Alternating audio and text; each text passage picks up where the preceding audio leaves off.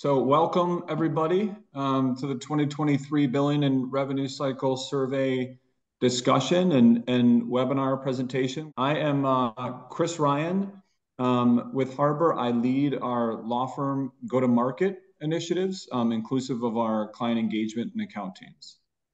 Hey everyone, I'm Jamie Wilchin. I'm a director with Harbor in our strategy and transformation practice and help lead our law firm um, optimization group. And we focus more broadly on business support services transformation, including looking at the revenue cycle that we're here to talk about today. Christine Indiano. I'm a senior manager within that group. Um, I primarily focus on revenue cycle assessments, um, current state assessments, as well as the transformation and improvement implementation work in this space specifically. And I'm Henry Rosenstein. I'm a consultant in the strategy and transformation group with Jamie and Christine, uh, also working on law firm optimization work. And I also serve as the project manager for the billing and revenue cycle survey. So we'll be your guides and sources of info for today, but as you can imagine, a lot of help behind the scenes by our marketing team, by um, you know additional analysts that that help gather you know the data and work with Henry and Christine. Um, we do a lot of this work um, you know with with law firms in the market um, around helping assess and optimize um, you know their billing and revenue cycle you know functions. So um, look forward to to any of your perspectives and, and questions today. So. Um, so real quick PSA, we are Harbor. It's hard for me to say that without the farmers insurance, you know, music, um, but we are deep in legal. Um, as you can see, I'll give a, a, quick update on how we've integrated with a number of other businesses, but we focus primarily on the, the global 200 law firms and um, Fortune 500 law departments. We do some um, additional, you know, work with, you know, kind of some industry sectors outside of, of that. So, you know, other corporations and government um, in certain areas. We're, we're just shy of about 700 people now of, of consultants, technologists, subject matter experts, um, again, focused on the legal industry. And this is just a little makeup of our um, practice groups that, that uh, you know, serve you know, our law department and law firm clients. Um, that kind of last comment is just around our commitment to this to this uh, industry and um, thought leadership and you know surveys and trends and insights that we like to gather um, you know, as evident from, you know, this, this survey today that's been about seven years running. So 35 uh, participants um, in this year's survey. It's pretty similar to the last several years, you know, kind of in that 30 to 40 range. Um, to give you a sense of the profile and the type of firms. Um, so a little over, you know, a thousand people and a little, you know, about a billion and a half in revenue on average. So you can see that the majority of the firms are in that AmLaw 50, kind of global 50 um, size, size firms, but um, a number of kind of massive firms, a number of firms that are a little bit smaller than that, and so the composition by attorney count as well. Um, all law firms are going through very similar challenges and, and have opportunities to improve their revenue cycle. So, um, you know, whether a firm, you know, has a specific, you know, focus in, in practice area or whether they're, you know, diverse firm and global, they're all kind of going through similar um, you know, issues and, and opportunities.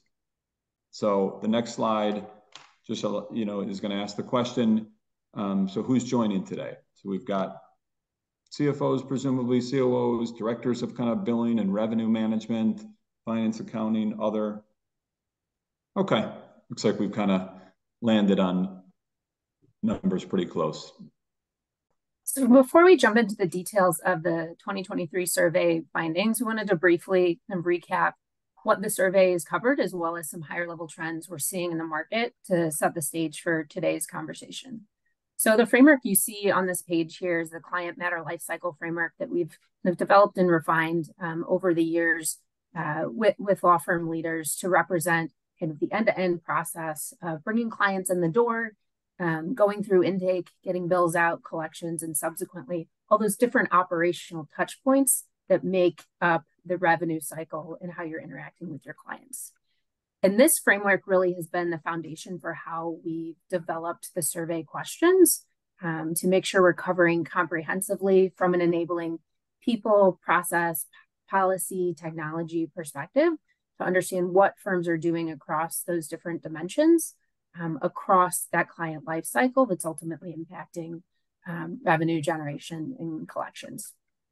So I want to use this to set the stage. And then on this next page here, um, wanted to bring to bear some macro market trends that are based on, um, of course, what we're hearing in our survey, but also anecdotally what we're hearing in the market as we speak with law firms and what we're seeing other industry publications and research that groups um, produce when we talk about this space. So I'll call out a few high level trends here, and then, as I mentioned, we'll dive into the details of the survey.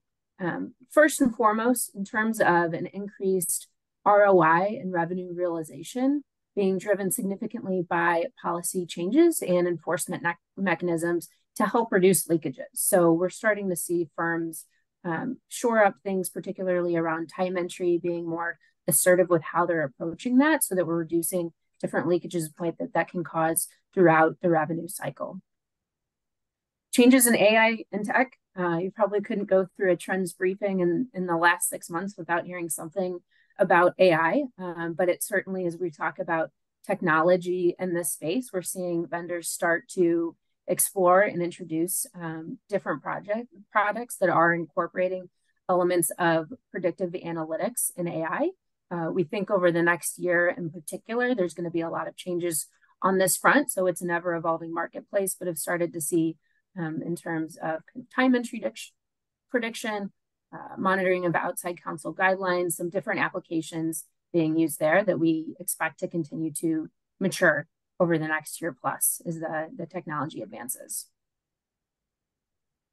We're also seeing when we think about that the life cycle we just looked at, uh, firms taking a more holistic approach to resourcing and roles in this space. So not just thinking about um, the individual kind of AP or AR function and the different subsets of what makes up the revenue cycle, but having individuals in chief and directors positions who have a pulse across these different dimensions so that they're creating that streamlined experience and are able to provide kind of that larger point of view on where there are opportunities to improve performance across the revenue cycle.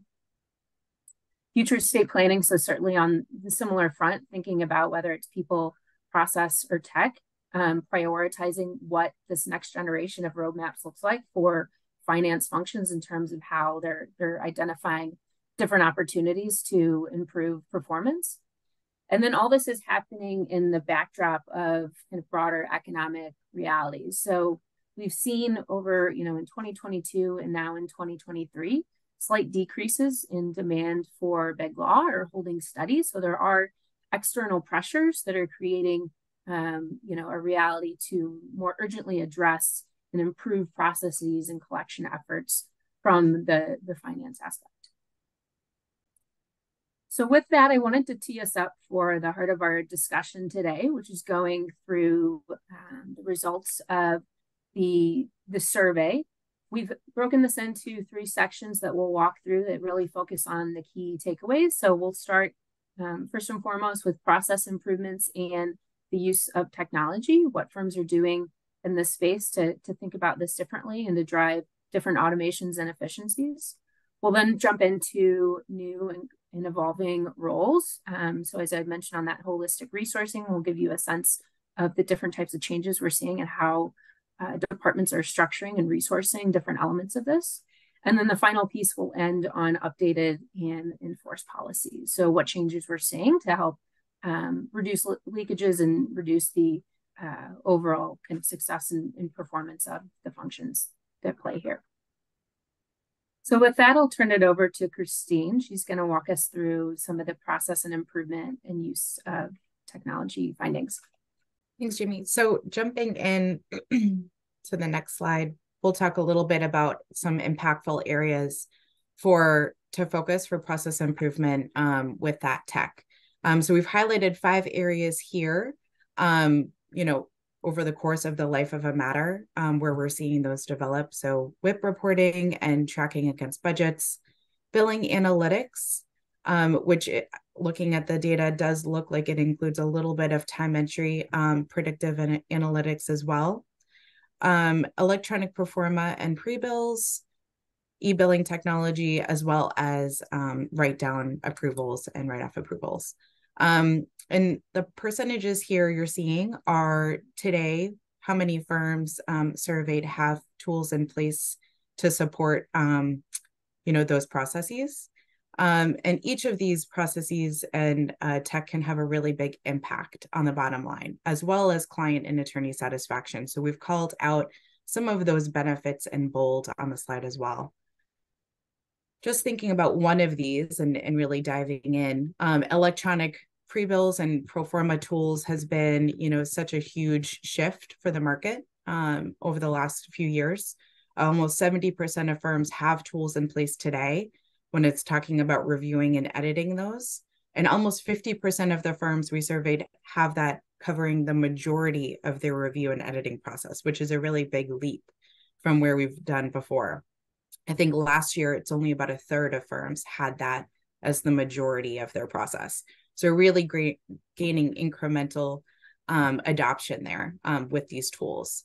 Um, this was a really big shift from even five years ago, where I think we had in our 2017 survey, only 20% of firms using an electronic pre-bill or pro forma tool. So now up to 70. So pretty big, you know, shift in the market. It's enabling bills to get out faster. It's improving collaboration and coordination among the reviewers, um, the attorneys, as well as the, you know, the team themselves, the billing team, and being able to track and and manage where those are to get them out faster and, and move things along. I think throughout all of these items, though, there are, you know, examples where I can think of and the team can think of where we've seen the firms perhaps take a misstep or a common common issue that's raised even after implementation and that's sometimes you know thinking a little bit too um you know not holistically enough, I guess. And so perhaps implementing in, in too much of a vacuum.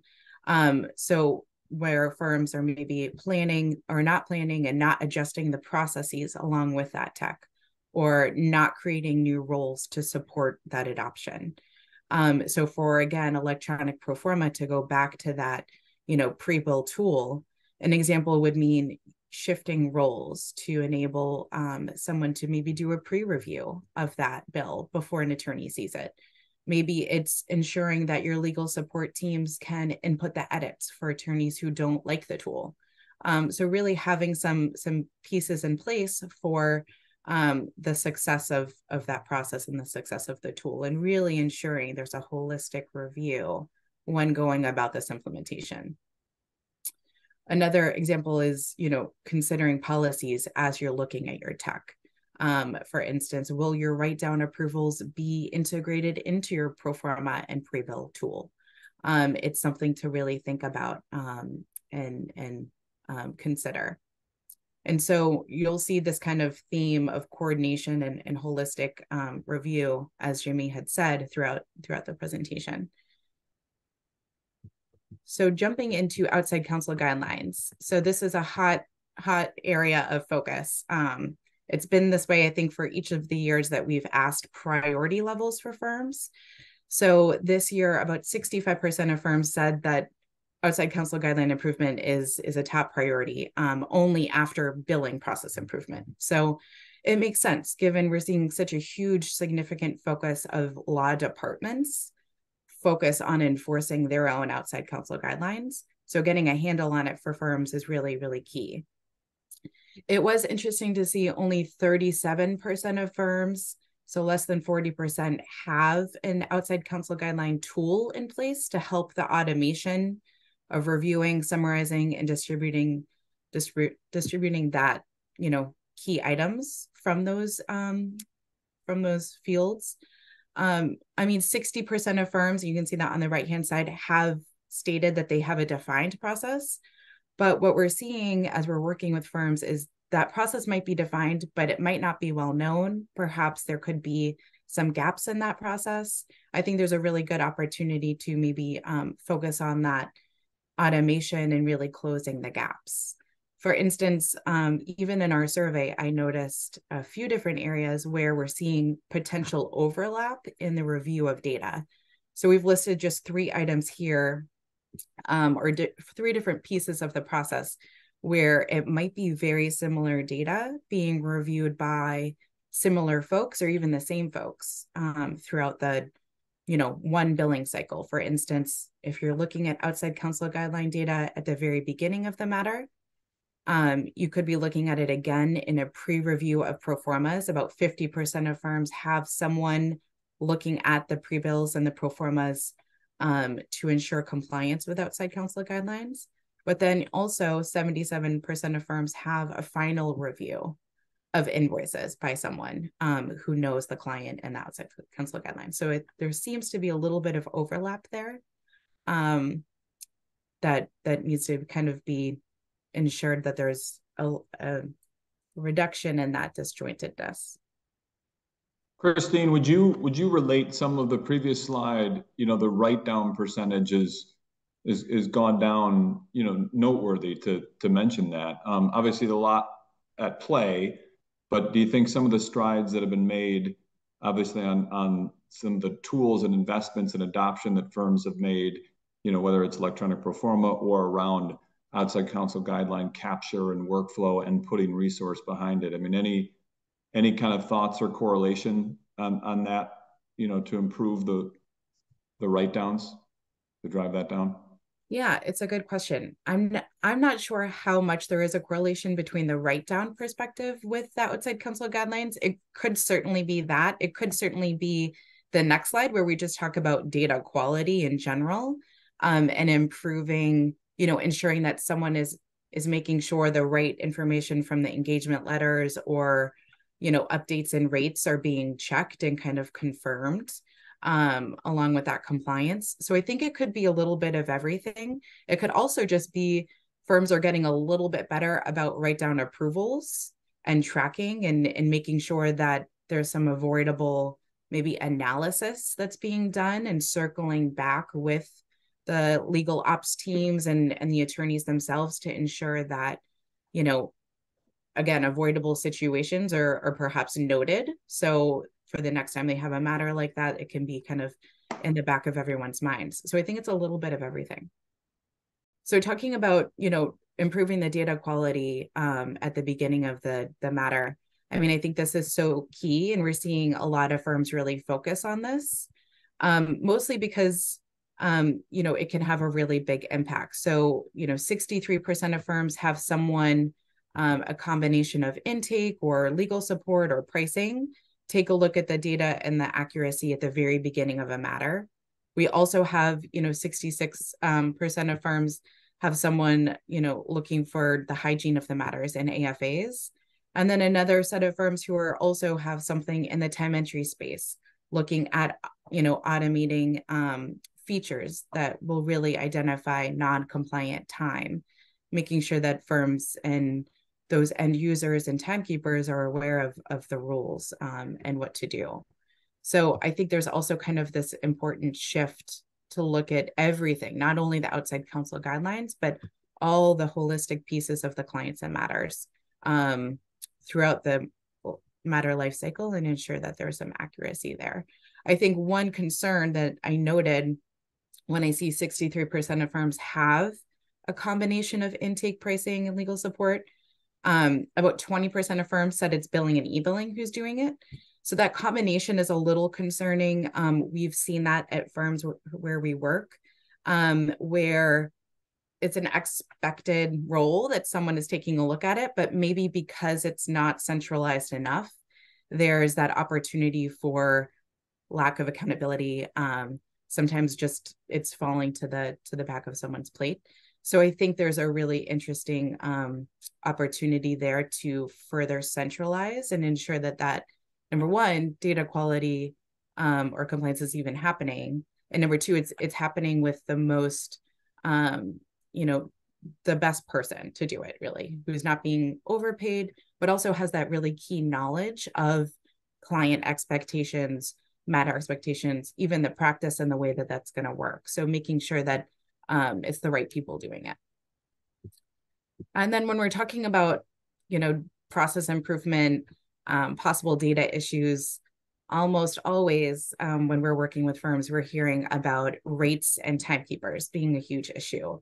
Um, this is definitely something that's evident with e-billing. Um, I think most e-billing folks would say that's probably their number one rejection reason So it was interesting to take a look at some of the data points at the beginning of the life cycle and see that most firms, about 51%, have software to assist with pricing. About 40% of firms um, are using something for the annual um, rate review and the setting process. And then about 31% of firms have some sort of software that is using a workflow with the rates. So I think there's an opportunity here. You know, we're seeing these numbers. It's it's gaining incrementally, but I think there's an opportunity here to further improve that workflow and ensure that you're taking it a step further. Once you've got the rates, that's great that it's been decided. It's great that that's been approved from the attorneys, hopefully approved on the clients. I know that's another process.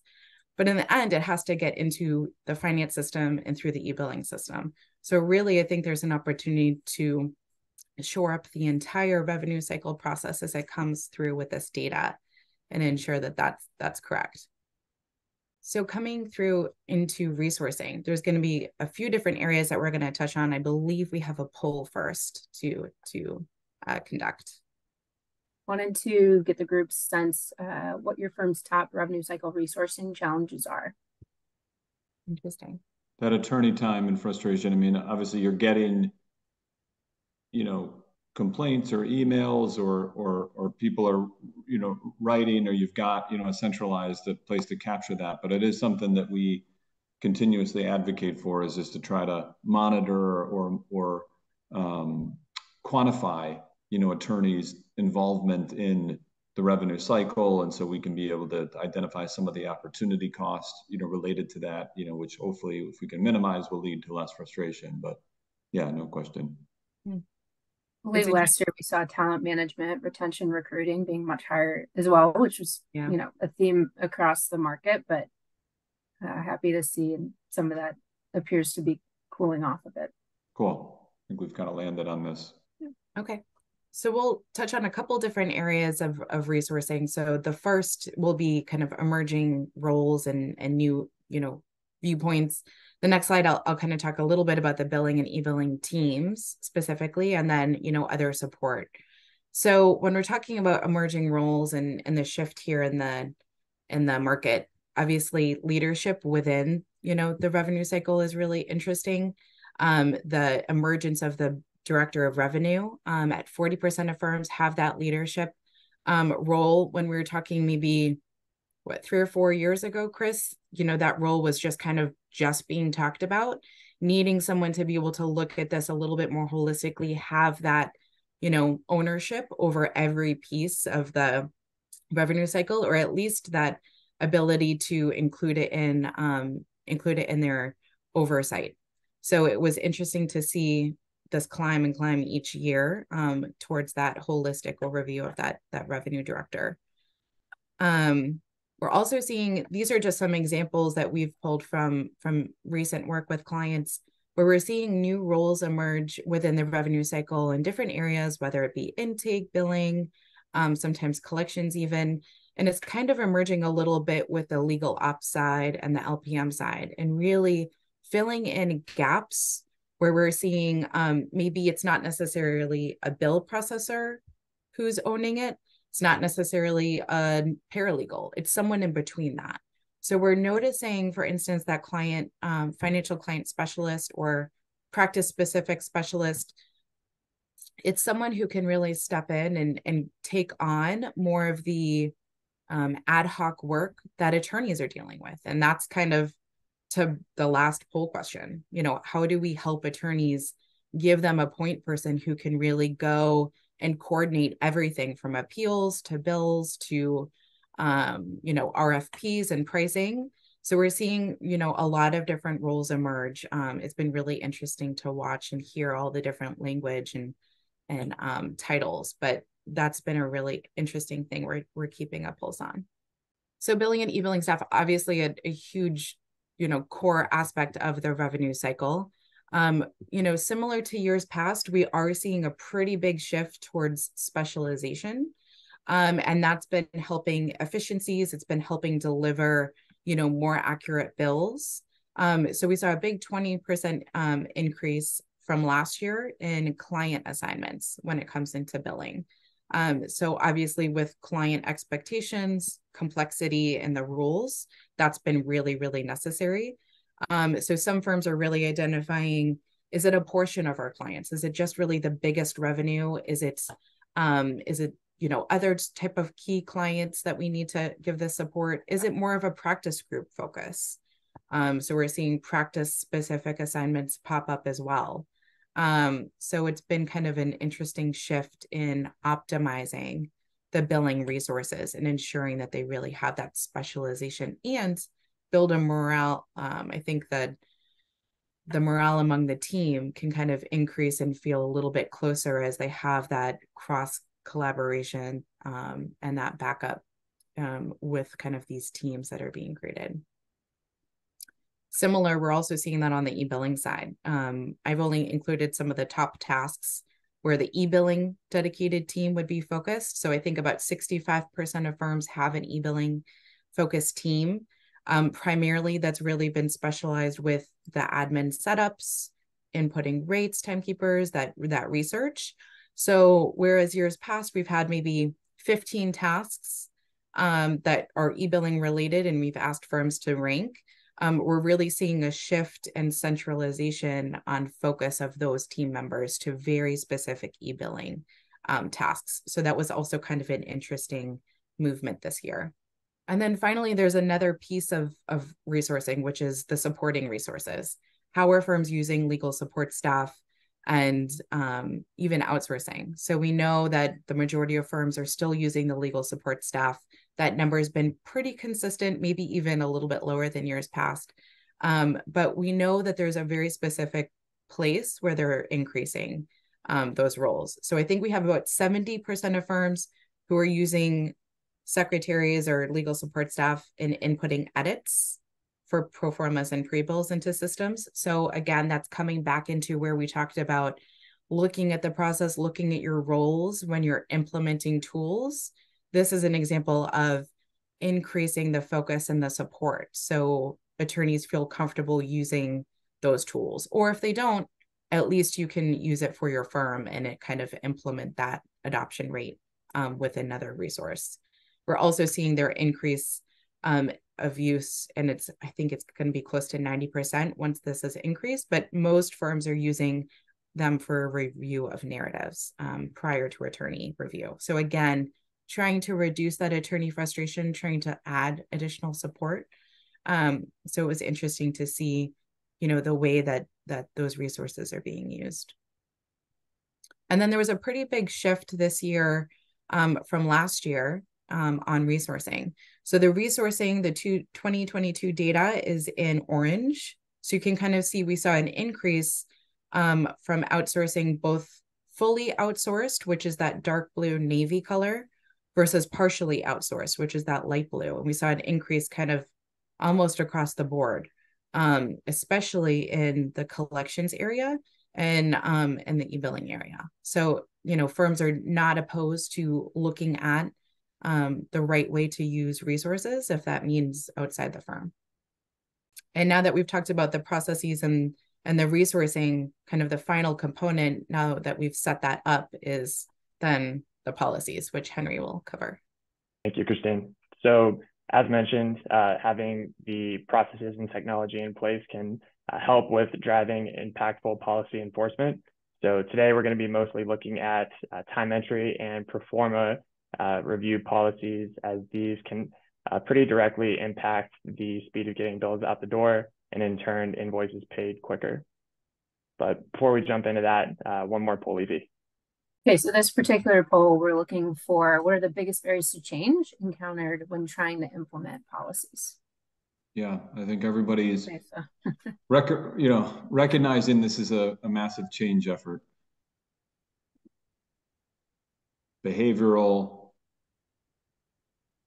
getting people the tools and additional skills, and that takes time, that takes change, that takes alignment. Okay. Great. So looking at time entry, uh, we've seen the majority of firms encourage a daily time entry policy, um, but actually enforce a policy of getting that time in in about the two to three days to weekly range. Uh, this has been pretty interesting to see, just kind of as a development over the past couple years. Uh, that two to three day option. So last year when we actually conducted this survey, we didn't even ask if two or three days was an encouraged or uh, enforced deadline. And so many firms were just filling up that other option and saying two to three days, 48 hours, midweek, et cetera, et cetera, that this year we included it. And now we're seeing about a third of firms um, enforcing that as a policy. So um, pretty big disparity in terms of getting that daily time in versus actually enforcing it daily, but uh, a lot of encouragement there to help timekeepers hit that midweek deadline. Uh, additionally, we've seen a lot of different tactics used to help um, enforce getting that time in. Typically, the tactics that we see uh, to be most useful are financial tactics. Uh, an example of that could be withholding a draw for a partner, uh, impacting an associate's or non-partner's bonus, um, things of that nature. But um, really, really interesting data here that we're excited to keep an eye on in the coming years.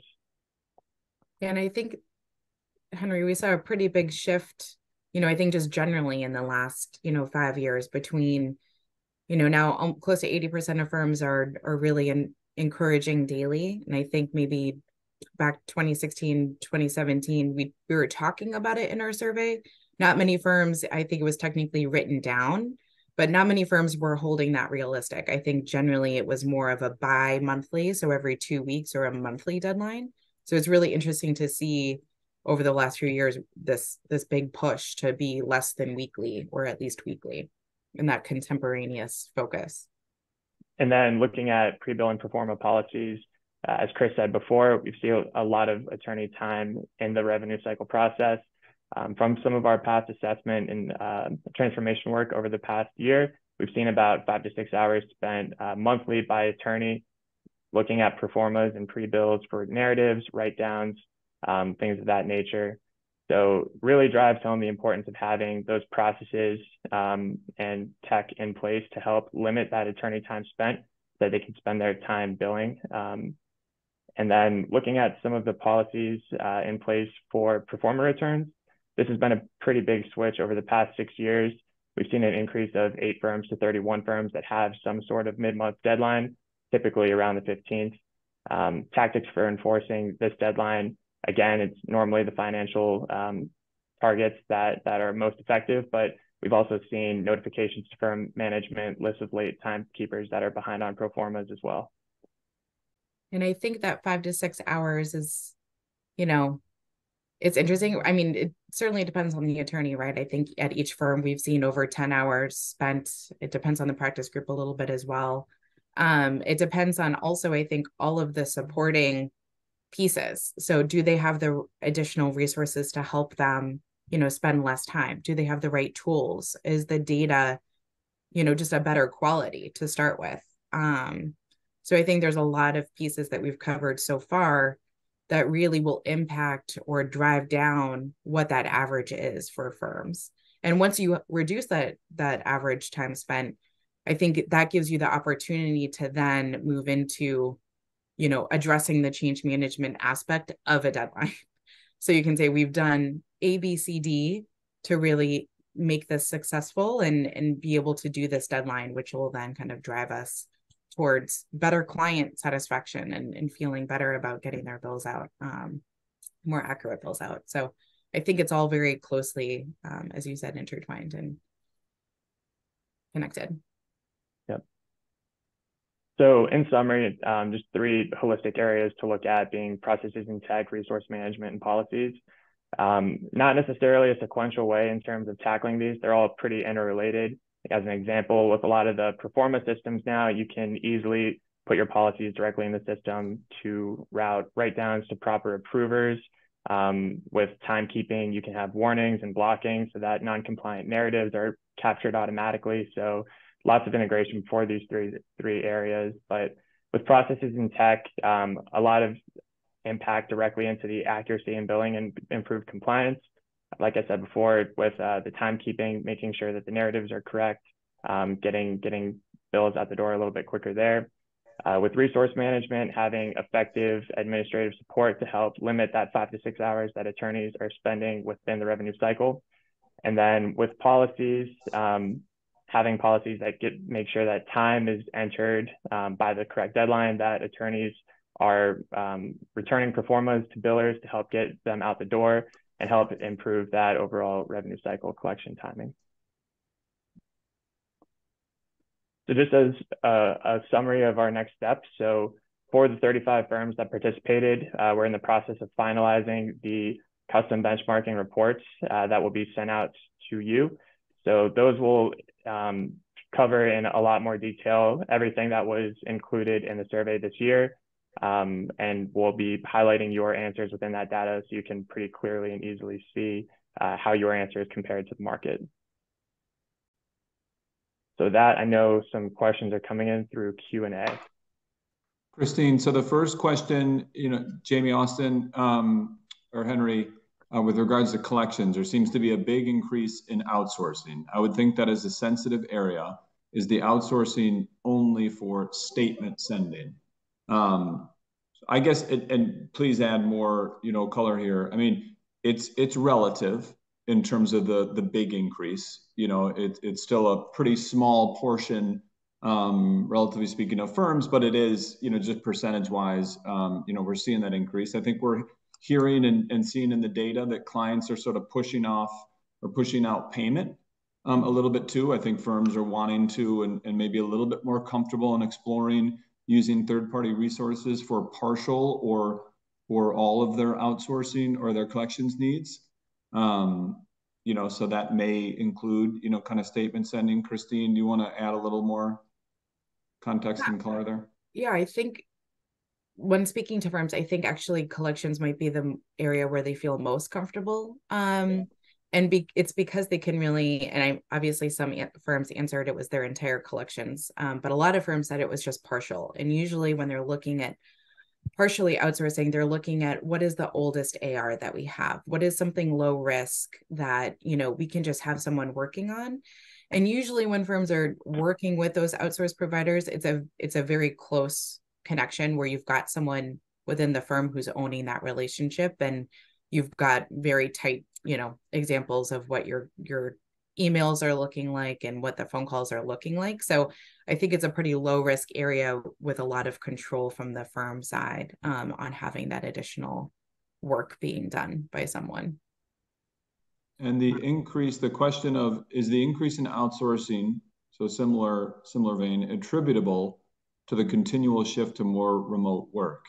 Um, so welcome my colleagues additional input but but yeah, I think I think that's some of it. I mean, I think firms have taken advantage of the ability to um, those that have you know a little bit more flexible policies. I know that that people are trying to get firms are trying to get you know people in the office more, particularly you know partners and attorneys for mentoring and, and a variety of reasons, but also with business services staff, and it's sort of different strokes for different folks. But um, yeah, that is that has kind of opened the, door to exploring more third-party outsourcings that are that are outfits that are well vetted, um, that have experience, that they're comfortable with, that align with with with the firm's needs and some of the you know technology. I think we always would advocate you know getting your process um, right, getting sort of your policies and and your tech in place, getting that right first before um, outsourcing because it should be sort of an augmentation or extension of your team and ideally um, as or more effective and ideally um, more cost effective too.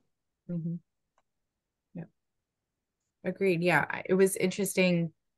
I think we saw a pretty good shift of firms, and we're talking about kind of like the guidelines of setting guidelines on working for the revenue cycle staff um, coming into the office. And I think it was close to 80% of firms had answered that they had some sort of guideline in place. Now, what the guideline said, the majority, the vast majority, I think it was almost everyone said it was a combination of remote, hybrid, in person, or just hybrid. Um, so I think there's a lot of flexibility. It looks like in this year's survey that that firms answered, providing that team, the billing and e-billing team, the other revenue cycle teams, um, in the back office area to be able to work from um, home. And so I think that's an interesting um, perspective that it could have a, a, a factor be be advocating for that.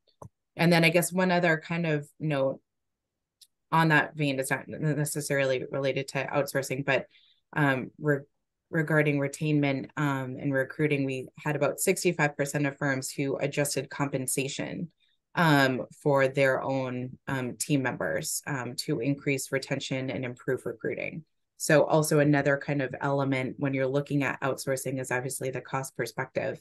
Um, and about 66% of firms are looked at this last year at, at that change in compensation. So still kind of a an important topic to consider. Are you seeing another question? Are you seeing a rise in clients scrutinizing the language used by outside firms to describe the services they render on a billing statement? Hmm.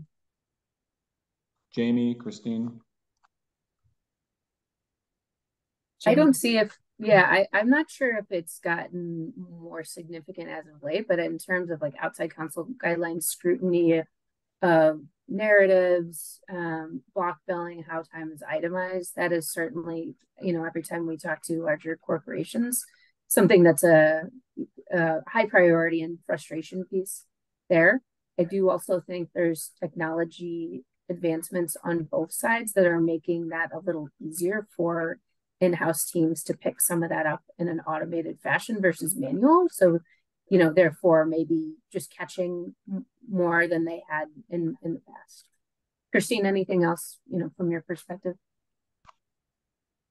Um, no, I think that's that's good perspective, um, given your work on the law department side. Um, I mean, certainly from the law firm side and and all the clients, I think on on their behalf, I think we're all seeing some pressure related to to that. And it kind of depends a little bit on the practice group, I would say, because we can work with some practice groups where, you know, they they'll say our clients don't really they don't really care or they might say in their outside counsel guidelines they care but we can get it through anyways. So there still is from my perspective in perception you can tell me i'm incorrect jamie that there might be a disconnect in the legal ops teams of um of that in-house versus what's actually being um you know coordinated on the e-billing tool. And so what can they actually get through versus what's actually being watched and so there seems to be a little bit of sometimes disconnect on that side.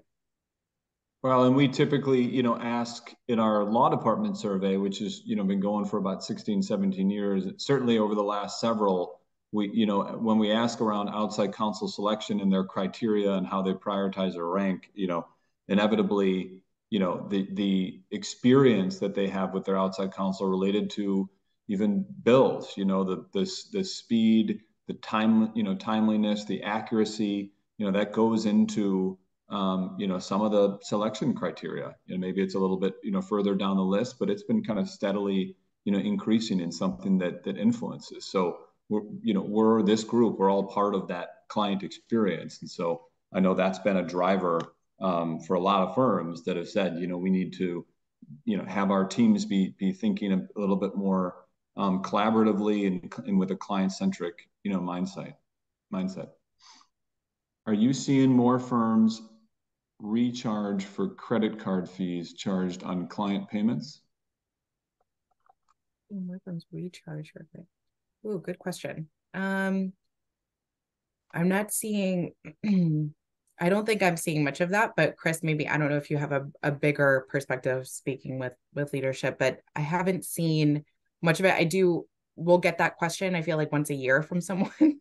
Um, and the answer is always it's a very small amount of firms who who we're talking to about it. Um, so i'm not hearing much much in this area. No me neither. We'll follow up though and if if if whoever asked that question you know wants to to reach out um, we'll do a little digging.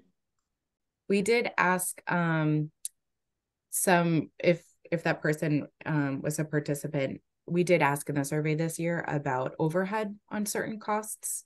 And so we will have some slides um, in our survey um, rollout that show what the overhead costs are and some of the the changes around that um, that we didn't cover in the webinar today, but is in our survey data. So be on the lookout for for that piece.